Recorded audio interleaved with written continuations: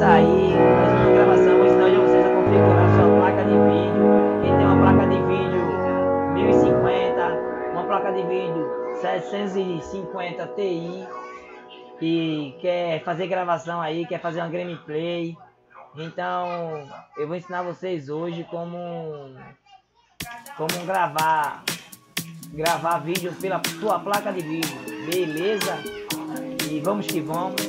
Vamos entrar aqui GeForce Beleza, entrando aqui, você vem aqui, pessoal, nessa configuraçãozinha aqui, clica nela, vem aqui em overclock do jogo, configurações, beleza.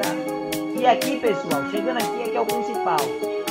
Aqui você tem todos os tipos de configuração. Aqui em cima, ó, conecta, é para você conectar na sua conta do Google, na sua conta que você tá gameplay, para você poder fazer transmissão ao vivo pela sua placa mesmo?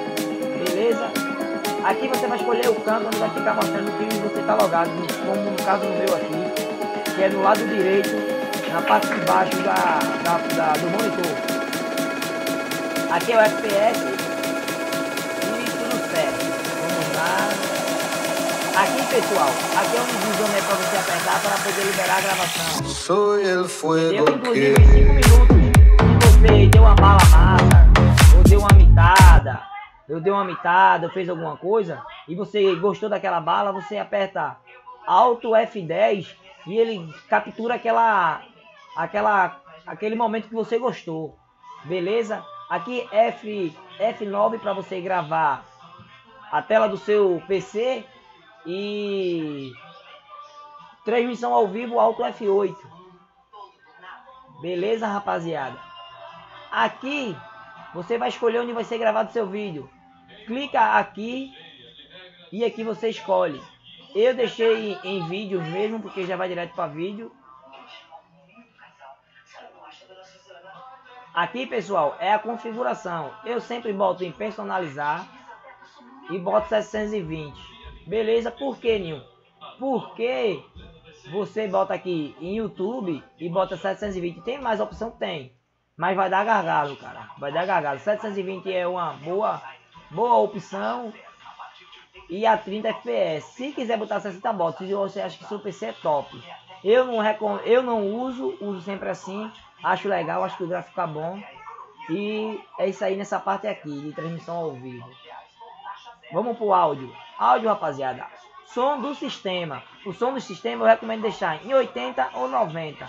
Porque é aquele som do jogo, ou você tá com um amigo em TS e ele tá falando com você, então eu deixo 90 devido a isso. Aqui embaixo é do micro. Então do micro você deixa 100% porque é a sua voz que vai sair. Aí vamos para captura, captura de vídeo.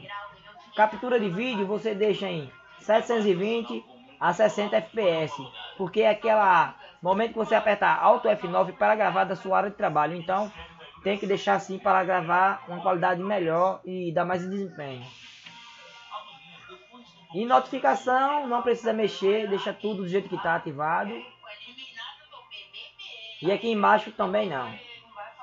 Bom, rapaziada, se ajudou, eu espero que deixe, deixe seu like. Se não ajudou também, deixe seu comentário, deboche, critique. E eu não tô nem aí. E se gostou, curta. E se divirta aí com a sua placa de vídeo e grave. Espero que meu vídeo tenha ajudado a vocês todos aí. E é nóis!